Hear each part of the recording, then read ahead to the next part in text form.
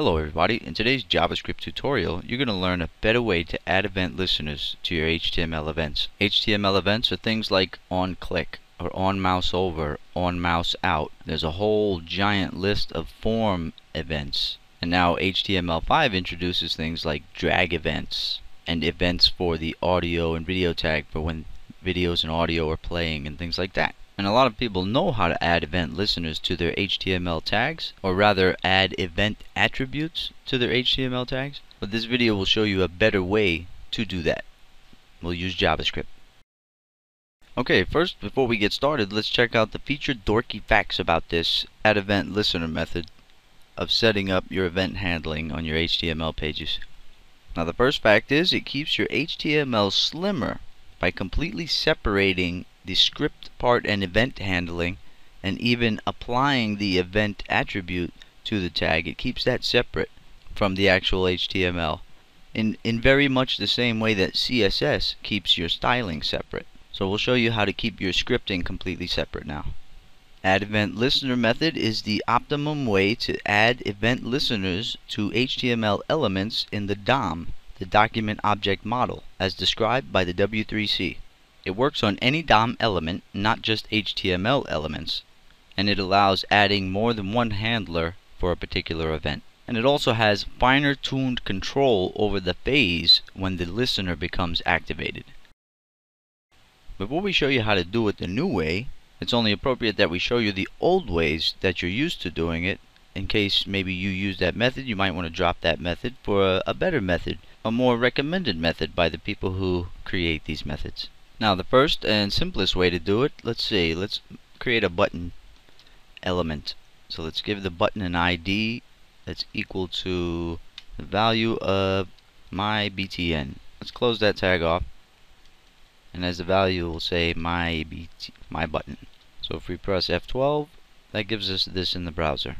And you'll notice that nothing at all happens when I click it, put my mouse over it or anything like that, except for the the visual change on the, you know how it lights up blue. But nothing else happens. There's no script that's executing. Alright, so one of the old ways and the easiest way was to just go straight into the tag and say on click. So you can take the on click event or any of these other events that you can place on it. Let's say on click is equal to, let's just put a quick piece of JavaScript in here, an alert. And we'll put between single quotes, hello world. Now if I run that in the browser, you'll see when I click the button, script runs, JavaScript. And I could make it do anything I wanted to do. Okay, so this, what you see here, is old way number one. You'll also see it written out sometimes like this. It'll say JavaScript colon, and then the JavaScript functionality that you want to happen. But you don't even need that JavaScript colon part. But anyways, this is the old way to do it and there's also another way to do it where you can remove this on click here add the click event through JavaScript. So the first part is window.onload equals add listeners. So we need a function called add listeners. So let's write that right now. Add listeners. Open curly brace. Go down a couple of lines and close the curly brace off. You gotta make sure we have open close parentheses there. So when the page load when the DOM is ready or when the window on load function fires off here.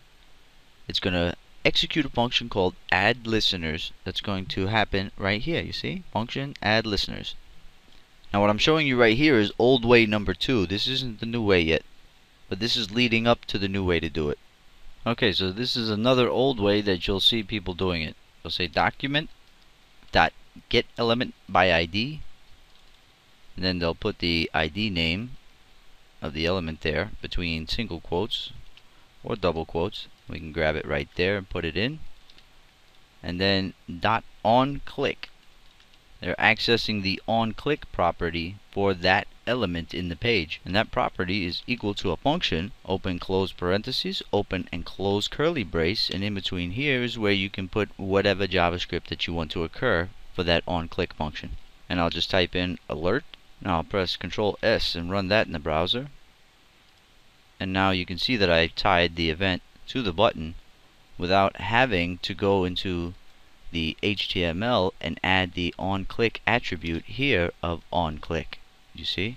we did it through JavaScript but still this isn't the newer functionality where you're using the add event listener okay so that's that's like the old method number two now we're going to show you the new method of doing it which uses a method called add event listeners okay now here all I have to do is backtrack just a little bit because I'm not going to use that method. We're going to use the actual add event listener method, which is the more recommended method by the people at W3C and everybody who's a big giant dork online. So just as before, when the window is loaded, when the page is loaded into the browser fully, this function called add listeners is going to fire off and it's going to add the event listeners for all the elements on the page that you want to add listeners for. Okay, so the first thing you'll do is you'll start off with an if and else condition statement and that condition will read if the window.addEventListener method is available for use then we're going to execute code right here in this line else if window.attachEvent is the only available method for attaching an event for any browsers that are older than Internet Explorer 9 so for any versions of Internet Explorer that are before Internet Explorer 9 so previous to Internet Explorer 9 you'll have to use this other attach event method. So that's why I included it. But for any browsers, uh, Firefox, Chrome, Safari, all the new versions of the, all the new browsers, even Internet Explorer 9 will use the add event listener method and you wouldn't have to use two different methods. But if you want to script this to work for any browsers like Internet Explorer 8 or any before that, you'll have to put this else if condition statement. But if you didn't want to worry about those, you could just have that right there. Actually, you wouldn't need even need that if condition either because the add event listener method would work for all browsers. For the meantime, we're going to leave that in because a lot of people still use Internet Explorer 8. Okay, we're going to use the document dot get element by ID method again. Single quote, single quote, close the parentheses, and break that statement with a semicolon. And that was my button. Instead of adding the dot on click property like we did before, like that, we're going to dot add event listener and you can see that there's three parameters or arguments that you can supply to this method. The first is type and that is the type of event you want to listen for like on click, on mouse over, on mouse out, things like that. That's your type. The listener is going to be the name of the function that you want to fire off, the function that you're going to write that's going to execute when that event is triggered. And use capture, it indicates whether the user wishes to initiate capture or not. And that is usually set to false. So let's click that, and then we'll add our three. See, first it's asking for type. So between double quotes here, I'm going to type in click. I want the click event, then I'm going to put a comma, and now it's asking me for listener you can see there I'm gonna call it btn1 func short for button 1 function and then I'm gonna put another comma and you can see it's asking me for the use capture value now. You can set that to true or false. Now all we have to do is go under the else condition here. And let's type in a comment say add your functions. And this is where we're going to add our functions. I'll pop this one in. It's called button 1 function. You can see it matches that name here. And what this is going to do is just alert. It's going to fire off a JavaScript alert to show you what the name of the button is. And I also showed you guys how to access the object using this syntax. So you can use this syntax to access the object and you'll see that the name what's the name of that button? My BTN it'll say my BTN colon mouse click make script run. Okay so let's press control S F12 to run it in the browser click it. So you see my button colon mouse click make script run. So you see that? This dot ID my button ID is my BTN and that's how we got that value to show up when we click that of my BTN you see by accessing the this syntax because this function knows what object initiated it or triggered it to execute because it's tied to it here through this add event listener method. Now if it happens to be a user who's visiting your application using Internet Explorer 8, anything before Internet Explorer 9, you're going to want to run this code right here. Let's change that to my BTN. There. So use document that get element by document.getElementById. mybtn, the attach event method instead of the add event listener method. And that only gets two parameters. And you can see here that you have to target on click instead of just click if you're going to use attach event. And you can fire off that same function that here that we wrote. Okay? So let's try that now. Everything's good. Now adding more is very simple. So say I had another button right here next to this button that was my BTN2. I could just go right up here, copy this line, control C, control V, my BTN2, my BTN function 2, change that name, and then we'll make a new function. Just grab that function, call it BTN2 function, and we're going to change this one from click to, let's try mouse over.